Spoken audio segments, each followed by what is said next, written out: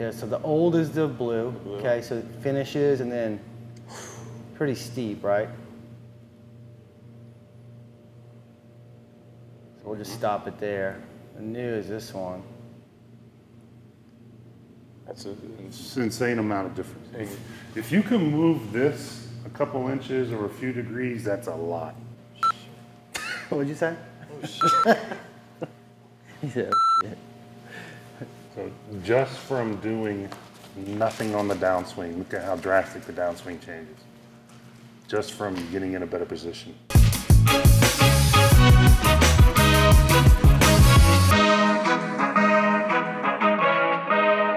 move around a little bit? There you go. what? It's you. This is awesome.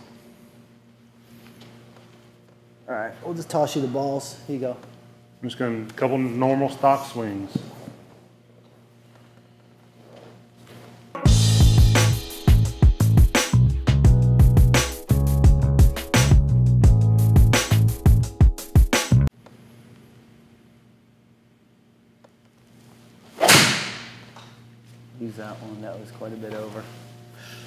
I, I felt that that was going to be one of my one of my slices. Yeah, that was your biggest one. Uh, I'm glad I felt it. yeah, And then you said use that one. I thought, ooh, maybe I won't say anything. use that one. That was the biggest over the Over the topper. top. Yeah, we're just going to talk about you like you're not here. Yeah. No, please.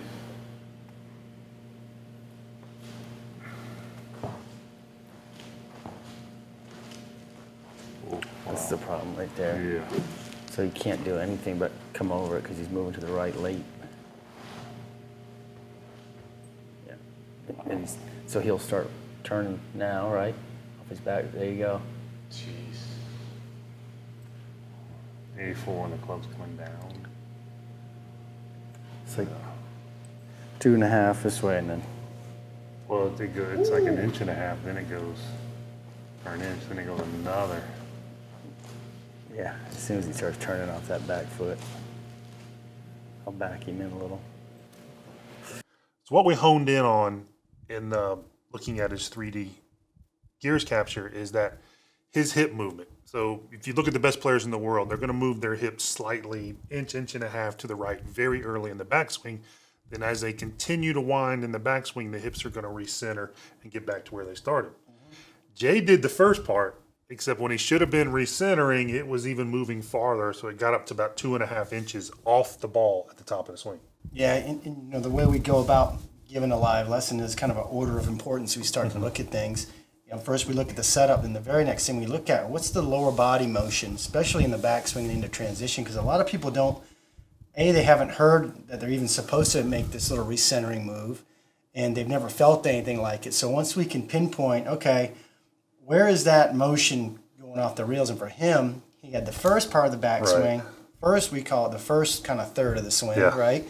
The second third he was missing, which was that kind of recentering move. And when he was making this particular move, and Mike and I've seen it a million times, it's basically an automatic steep downswing. There, there's nothing you can do to stop it. Yeah, what we what we found just over the thousands, thousands of captures of regular golfers is that if there's something weird happening or bad happening with the club, like in his case, he was steeping over. It's not a club issue. He just doesn't. He was just trying to go steeping over. It was the body forcing him to go steeping over. I mean, for practical purposes, the club's going to take the path of least resistance.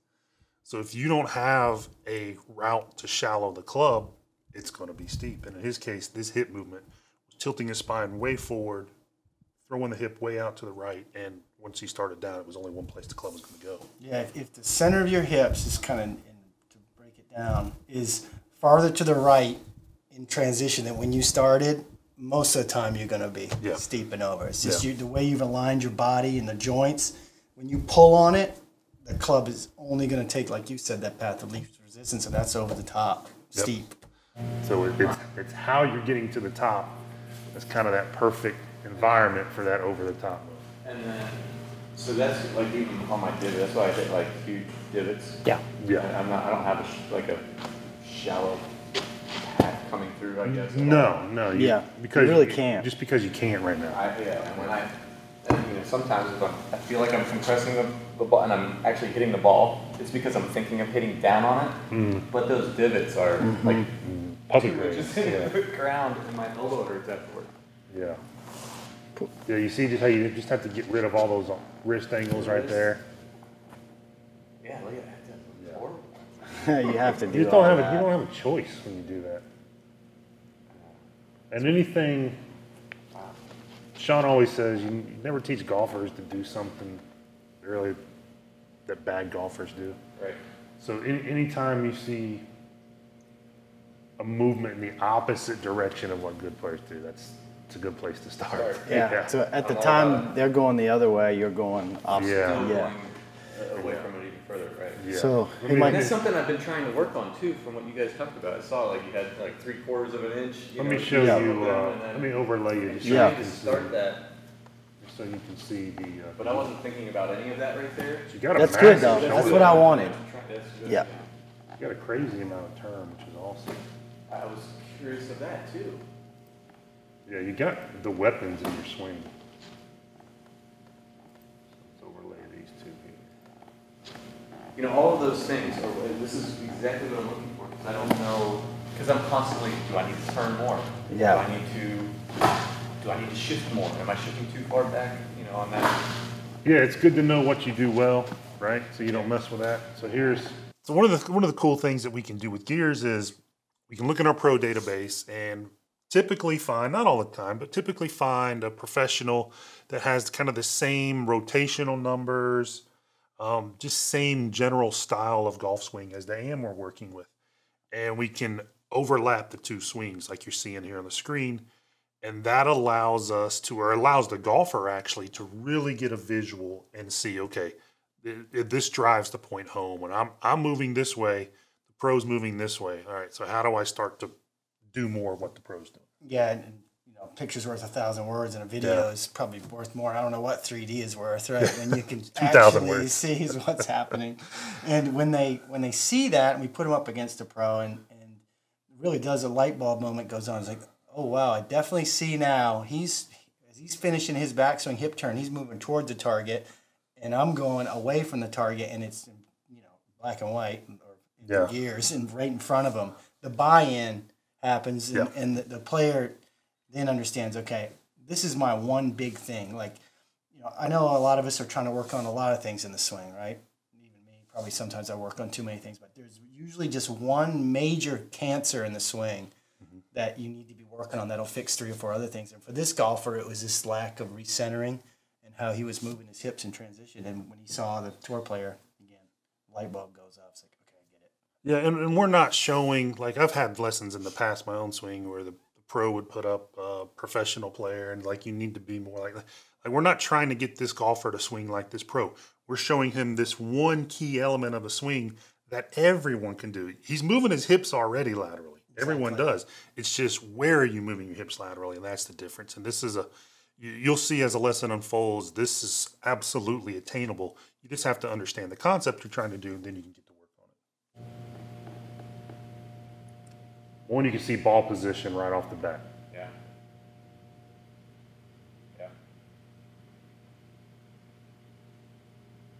so you're moving to the right he's moving to the left See the opposite motion? See it in the hips. So he's going, he's finishing his swing. We call it backing in. Yeah. He's finishing the backswing by backing in. Backing in. And you're you're you're finishing the backswing. Yeah. My hip out of from so you start with more shaft lean yeah. right Right. and an impact the opposite they just flipped them I'm, yeah. so we we get that worked out for you Here, flip that camera and I'll show him the drill.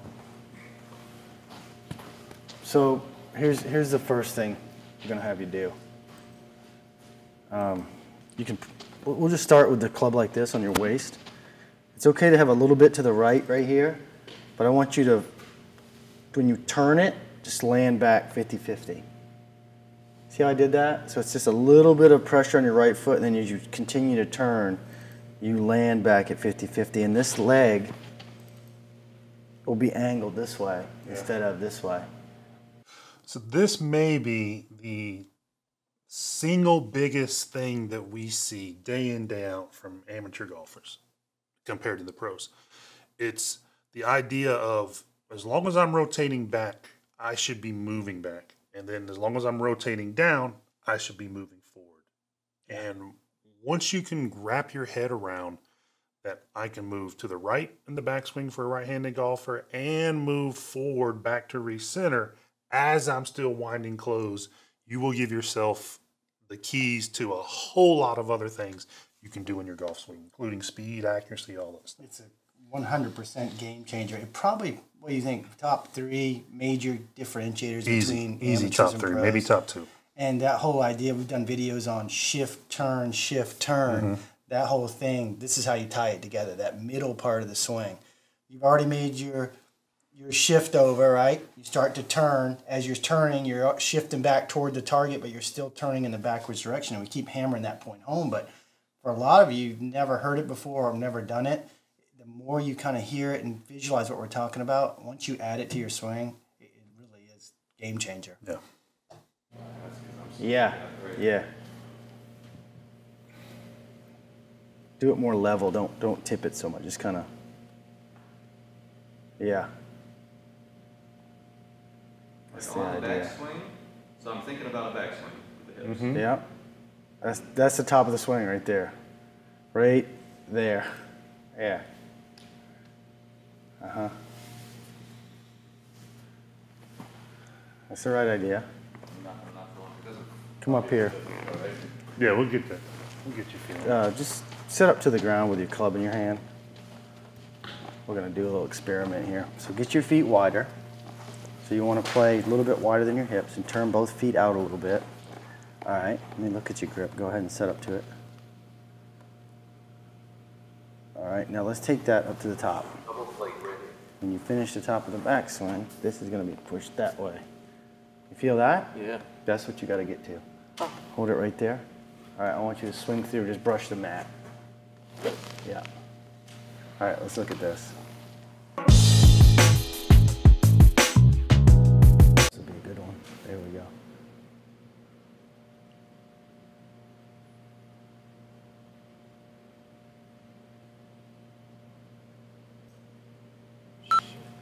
What'd you say? Oh, shit. he said, oh, shit. So just from doing nothing on the downswing, look at how drastic the downswing changes. Just from getting in a better position So, yeah. to yeah. transition. Club through the forearm. Yeah. It'll feel like you can make a normal follow through now too. You remember how you said I it did- felt, I Yeah. felt it. I Yeah. actually felt Your that. arms are So swinging if in we the put right the direction. hands, you put the hands now waist high. Mm. Like just playable, dead. When you, Pretty crazy, huh? and of course, that felt super foreign with my hip. Yeah, That's where- it? That everything in this lesson is going to be getting you there, That's it. and really nothing else.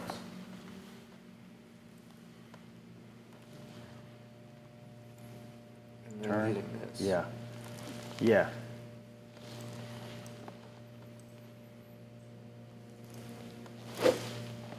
God, does that feel so.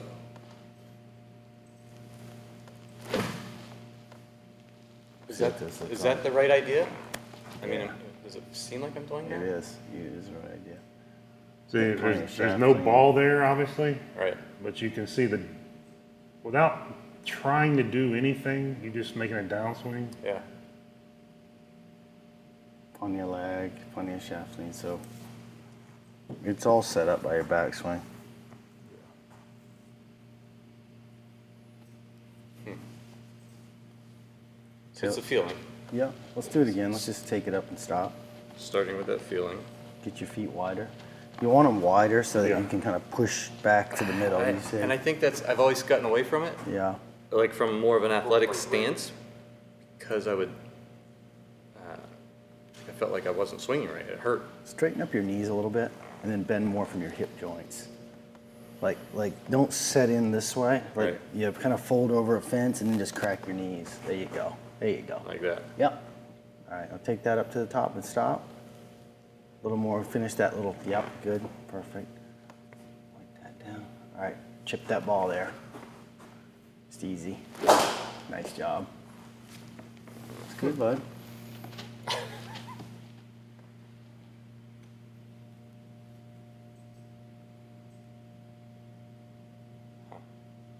There it is. Wow. You have more of a normal. Follow through. Mm-hmm. And I, I can work on that. When, Still, when yeah. you steep your arm motion, it won't it won't allow you to have a normal. chicken, yeah. Chicken wing. And The speed's got to go somewhere, and if it's in that direction, it'll just hit your elbow that I, way. I'm never even thinking about my follow through. Yeah. You know, like it's, I think of it afterwards. I'm like, God, that fell a little bit. Or I was out of balance, or, you know, like Yeah. I'm over the ball, or whatever it is. But, Even this motion right here, when it goes this way, it's pulling you. right. There you go. That's that's the general idea right there. What Yeah. you just did. It's a figure eight. Like if you thought about your hips, it's like a little figure eight. You see how um, Yeah. you traced a line on the ground? If you can kind of get that. Yeah. Bring your uh, bring yourself over here to this wall. There you go. This is Put your butt up against this wall here. Go your heels that club head width off the wall. Yeah. All right, take your stance. Your butt touching the wall? Yeah. It shouldn't. What? So that's what you're saying. I'm, Yeah, so you're when you're setting up, and it would give me you're going away from you more. back to bend over. Right. I just want you to bend over, then crack your knees.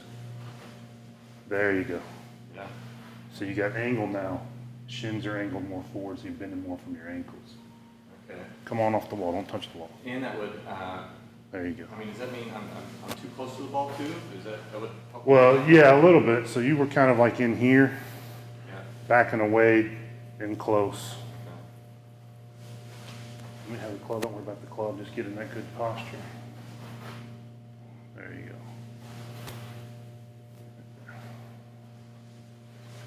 Feel the difference in the where the where the pressure is in the feet. Just in my muscles.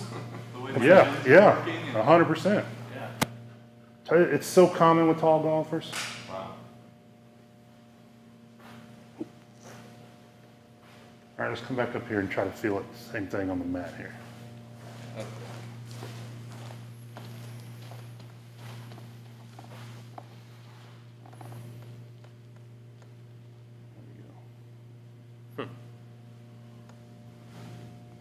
Yeah, I was always afraid. I was like See it anymore? over my toes. Even less knee flex. Give you just a hair less. than. Yeah, so right here. So do this with me. Yeah. Just just stand up, straight leg. Bend Yeah. forward without bending back. Keep your knees straight. Yep, as far as you can go, before you feel like you're gonna fall over the building. Yeah, from your hip joints, just just flex like this, Yep. like like you're bowing, but don't push your butt way back when you do it. There you go. Now crack your knees. That's it. there it. you go. That's Yes. all the knee Yeah. flex. So you're kind of coming in Yeah. under a tabletop. too right? athletic. Yeah. You're right. You're trying to be too much like a baseball I player or think something. there's something like yeah, that's Yeah, it's more of a. It's, it's way less uh, shortstoppy linebacker. Yep. Okay. There we go. Yeah, that looks good. Now give me that little figure eight. That's it. Do that to the top. Yep, no figure eight there. So There you finish. figure eight is a backswing, backswing move. So What? So let's talk about the figure eight that we're having him feel. And uh, the pelvis doesn't do a figure eight, right? No. It's just, I got this, um, the first time I heard this was actually from you, and you heard it from who? I heard it from David Toms. So I asked him one time. I spent eight years around him. He was at the golf academy every day when he wasn't playing on the road. And I'd get, been lucky enough to pick his brain over the years. And I think one day I was watching him hit balls and say, "Well, what's the what's the one thing that you know? Was there a moment when the swing kind of clicked and there you go? You knew you were gonna play some pretty good golf." Pretty He's- good. yeah. He, he's like, actually, you know, there was. He's like, I was, I think he was at, it wasn't a mini tour event, maybe Nike tour back in the day, which is Korn Ferry now. And uh, whoever he was working with at the time said, hey, you know, I'm watching you hit balls. I want you to try to make your hips move like a figure eight. And he, he said he kind of showed me. He said I went. He goes, he wanted me to go a little to the right and then kind of back my butt in and then make the finish. And he said, I think he went out one he either won or runner up, and then went on to like break a bunch of course records. And he said that was when that was the feeling or the swing key that he used for a long time, and it changed his whole you know ball striking career basically.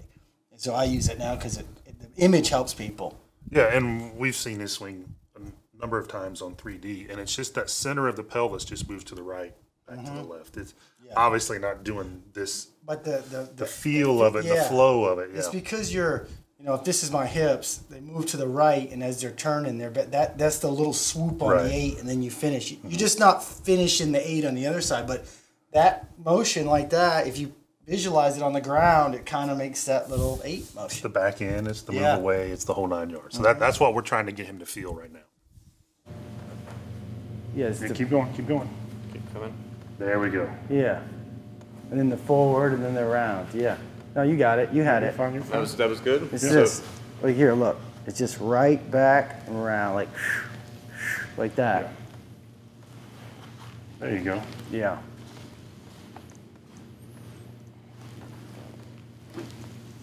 Okay, so you, you feel how it's getting to the outside, yeah, feel that outside of Too this forward. foot, Yeah. Yeah. Widest Okay, and then I pants, need to.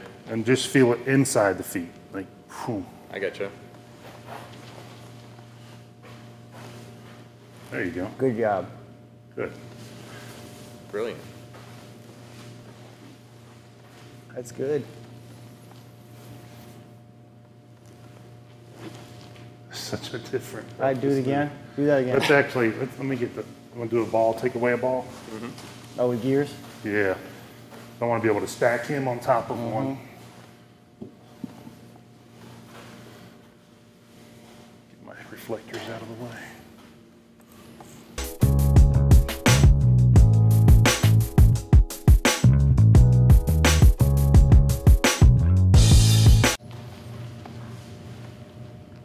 Okay, we're gonna overlay these.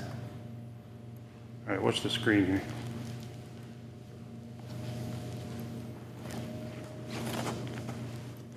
Which, uh, the yellow is the new, the latest one? Yeah, so the old is the blue. Okay, so it finishes and then pretty steep, right? So we'll just stop it there. The new is this one. That's a, It's an insane amount of difference. If- If you can move this a couple inches or a few degrees, that's a lot. This is like a foot of difference there. So the main thing now,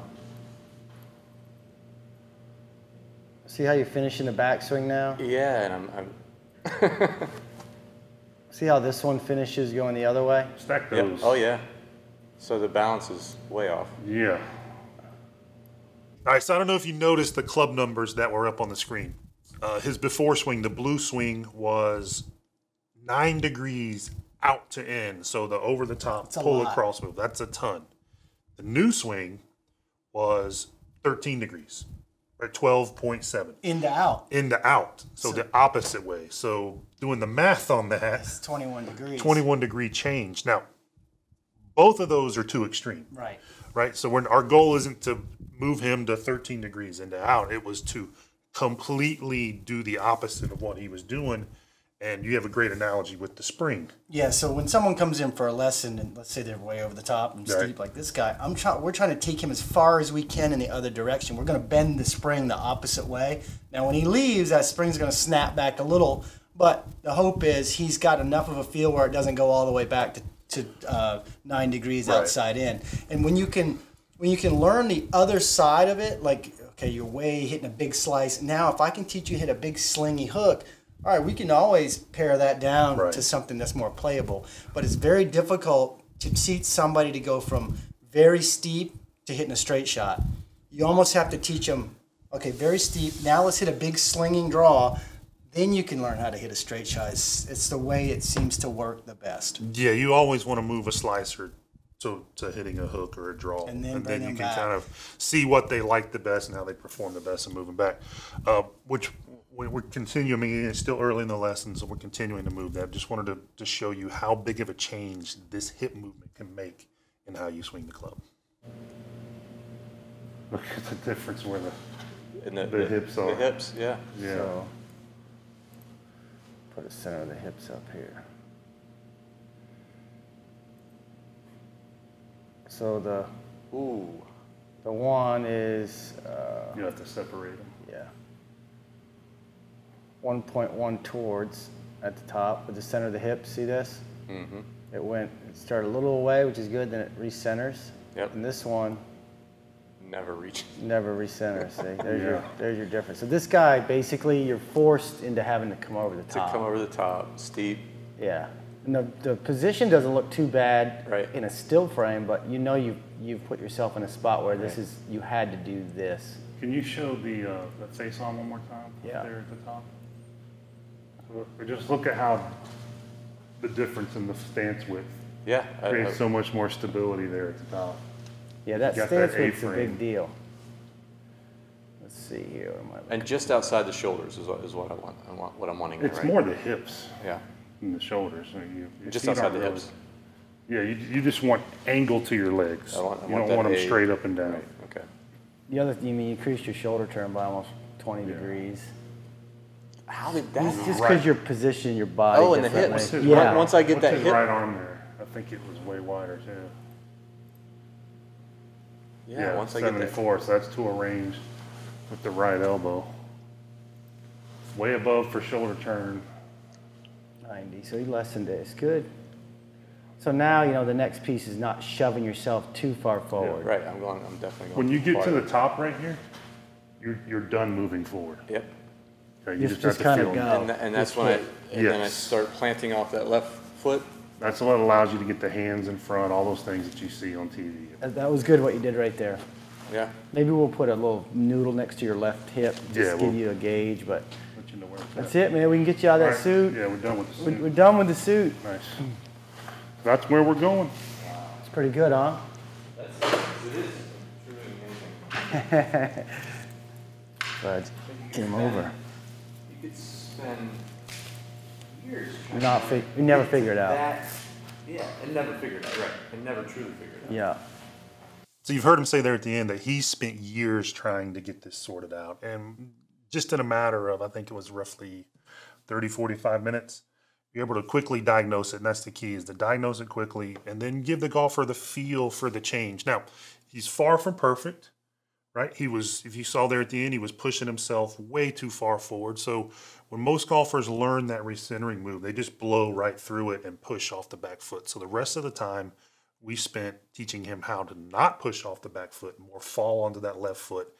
And the comment we made there towards the end is like, once you recenter at the top, that's really where you can feel like you're done moving forward. You're still going to go an extra few inches forward because the momentum of the swing and the rotation. deal. But you're done trying to push forward in the downswing. Yeah, I think from where he would, and that makes a good point. From where he was before in transition, he had to push because he's Hard already late, over there. yeah. So now it's a, you know, oh yeah, we're giving him the recentering, and he's ending up kind of 50-50 in transition. But now he's got to realize that just the, the movement of the turn will carry him the rest of the way Right. forward, which every good golfer's you know more forward at, at impact than they are at the top of the swing. Exactly right. So he fixed his steep, he fixed his hip movement, and he got a nice in to out path now. And it was uh, he was a lot of fun to work with. He had a lot of good stories, and uh, it was just a, it was a fun experience uh, being able to help another golfer learn how to move the hips properly and benefit from it. Yeah, and I think the comment he made, you mentioned it about, you know, it took years to, he's been trying to fix this for years. Well, if that's you, or that that's a lot of us, you know, get with somebody who can kind of diagnose the swing. You know, we, we almost feel like we have an MRI for the golf swing, right? We've got gears, we've got these force plates, and we were able to do and show him in 30 minutes what he never would have figured out on his own. So if you've been struggling with something, come in and see us, or go, go see someone that can diagnose you in 3D and um, get it sorted out, so you don't keep wasting time and go. You can go start playing some good golf. Absolutely. So 20, 21. 21 degrees of change. 21? Is it Yeah, 21? 9, 10, 11, 21, 12. Whatever it is. It's Yeah. a bunch. 9 and, tw- 9 and 12 is 21. 21. Let's do that again. A couple Is more that right? Yes. All right. Ready to do that again? You're like, damn, that's a lot. That can't be right. Use it. Yeah. All right. Ready? He spent years Hey guys, we hope you enjoyed today's video. If you did enjoy it, go ahead and give it a like. Also, if you have any questions about today's video or you have an idea of a video that you want us to shoot, go ahead and leave it in the comments below. We read every single comment. We also respond to the comments. So again, leave us a comment if you have any questions or there's anything you'd like to see. Now, if you haven't already, click the subscribe button. We have videos coming out every single week and we don't want you to miss one. So by clicking subscribe, that ensures you're notified right away when a new video comes out. And hey, if you want to add instant distance to your drive, and we all do, everybody wants more distance, go ahead and click the link in the pinned comment below. You're going to see a link. Click on it, it's going to take you to a page. You're going to enter your name and email address. We're going to send you an email where you're going to get access to instant distance, which is a video training that we put out. We know it's going to help you. We know we're going to see you farther down the fairway.